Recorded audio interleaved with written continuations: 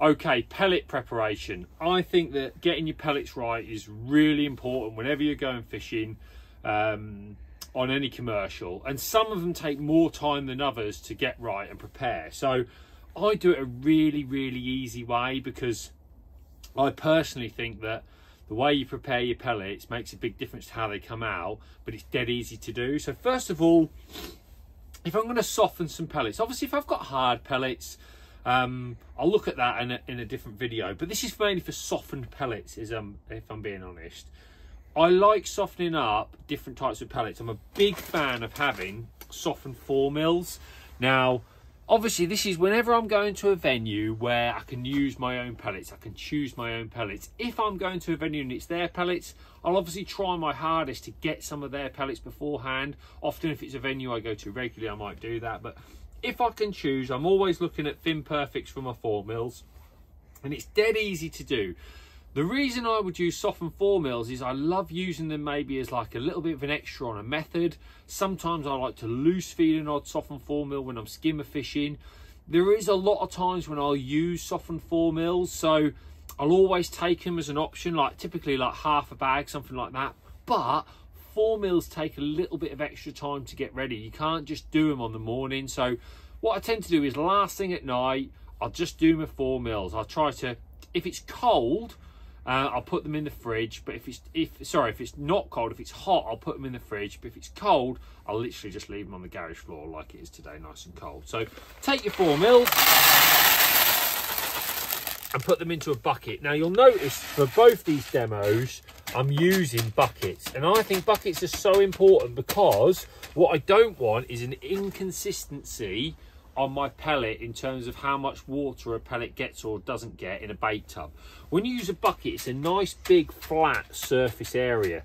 And what it actually does is it allows all the water to cover the pellets and almost like drain down together so you get a nice consistent pellet. I think that's really important. If have put them all like in this bait tub and say half filled the bait tub, then put the water on and then the pellets try to overexpand. The ones at the bottom end up as a mush. The ones at the top haven't got enough water. You don't want that. You want a nice consistency of your pellet. So just going to take some water here. Now, all I'm going to do, and I'm doing four mils, this is really important, I just like to get the water so basically it covers the four mils because just give that a little bit of shake around there. So like if I'm tapping these down, I want to make sure all four mils are covered. They're not quite covered. So Let's just put a bit more in here. Don't, the pellets are really hard and dense, so they need to be covered all the way through with water. So literally just patting them all down to make sure they're basically all covered without having any excess water.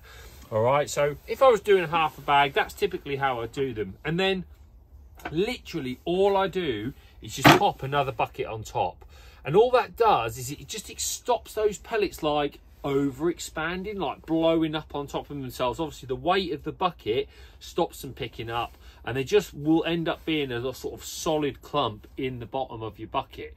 All right, so that's what I look to do. I, I own three buckets, and I always do me bait prep like this when I'm when I'm preparing to go anywhere.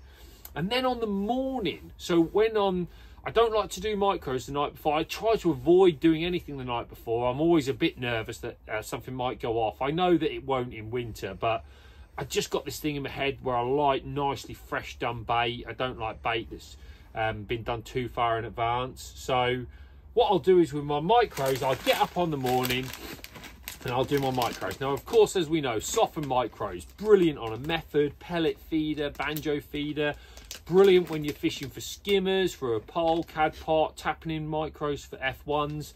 There's so many benefits to doing uh, micro pellets. And for me, when I get the choice, like there's a lot of venues where you can choose your own pellets. I think your pellet choice is very important. And I always go for two types. I've got Fin Perfect 2 mils and I've got some S pellet feed pellets here. Now, the reason I use these two different types of pellets is, is, is quite interesting. Mainly because this is your standard coarse fishing pellet, all right? It's not really got um, a, a massive amount of oil in it. And what tends to happen with these pellets is, you know, they can be quite tacky at times. Sometimes they can be a little bit tacky. Sometimes they might change slightly and be a, not so tacky. So I've sort of got a, a consistency of what I can expect from this pellet, if you like.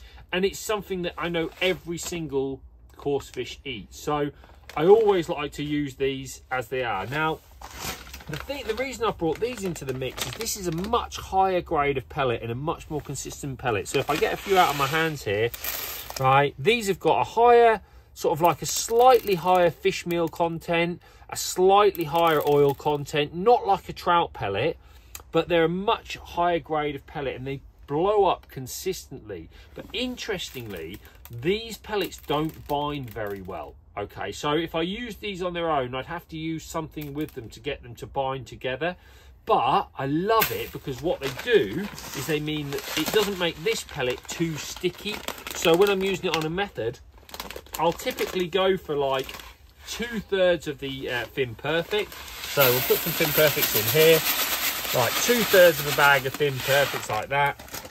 And then this is actually a bigger bag. So like a, a half as many again of the S pellets, all right? So you can see when I mix them together like this, you can see I've got a, a sort of a blend of two thirds of the uh, Perfect and a third of the S pellet. And what that does is it makes my pellets brilliant because I can squeeze them together really tight on a method. They go boom, down to the bottom, get to the bottom in one piece. But because those S pellets don't bind, they just allow everything to start to break up and you get a beautiful breakdown on your method feeder which is why I combine the two. I think that's really important. Now if you want to add any flavor or anything this is the time to do it to your pellets all right? So what I often like doing is I always think to myself do I want to put anything in my pellets? Am I happy with my pellets how they are? There's loads of different things you can use. You could use a bait booster. Look, I've got an orange one here. I love the Scopex bait booster.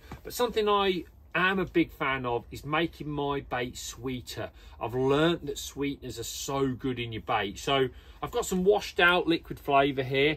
Now this is like you can't fail with this to overdo it like you don't have to be like oh no just a little bit literally it's nice and sweet but you can't ruin it. So in the winter particularly i've learned in the winter they fish love sweetness. They really love sweetness in the bait i will literally give it a massive glug in there. You know it's not a particularly expensive um uh, product that is the is the liquid flavors. They're designed to be used a bit more in bulk. So i really will put loads in there and then I will add my water. Now, the same thing as when I'm doing the four mils, just give them a nice stir. And what I'm looking to do is just fill this up. So when I tap this down with water like that, if I tap all the pellets down, so you can imagine all that flavour's nicely distributed, I want that water to be just showing on the top. There we go. That's the perfect one. So like it's just almost lapping on the top of the pellets. That's it, like that, all right? And then I do exactly the same thing. I will literally put my bucket, which will have my ground bait mixed up, on top. So I'll have my three buckets like that ready to go. This will have my ground bait in it for a nice bit of weight. And everything just holds my pellets in there, stops them over expanding. We'll take a look at them when they're ready. But that is how I get the perfect pellets for fishing. So these have been sat for a good couple of hours now. Let's take a look, take the bucket off. So that's how you can expect your, your micros to look. And you can see there, absolutely solid wedge. So if I get my hand underneath, break them all up, I'm left with, beautiful smelling by the way, the perfect micros. And actually it's hard to see the S pellets within them, which, you know, when you see the colour difference to start with, you think to yourself it's going to be big. But you can see when I squeeze, I can squeeze really tight, and it'll squeeze on a method no problem look but watch how I can just literally break it all back down to pellets. So that for me is the perfect pellets for like method feeder banjo feeder. I love swollen pellets when I'm uh, skimmer fishing as well. So they've come out great. Let's take this other bucket off. There's the fours. You can see them all nicely blown up. And again just get your hands underneath them. You can see look there's still a little bit of water there because it's been two hours. That's why i said i like to do it overnight. But you can see how the pellets have all swollen up nicely then they're probably like halfway through soft now so another couple of hours and they'll be perfect you could see how they were they've not ruined or overexpand whereas if i just left them like that they would have done so That's why I do those the night before. But you can see perfect. It's such an easy way of preparing your pellets. And Then just chuck them in your bait tubs when you get on the bank. But you'll have the perfect pellets every time.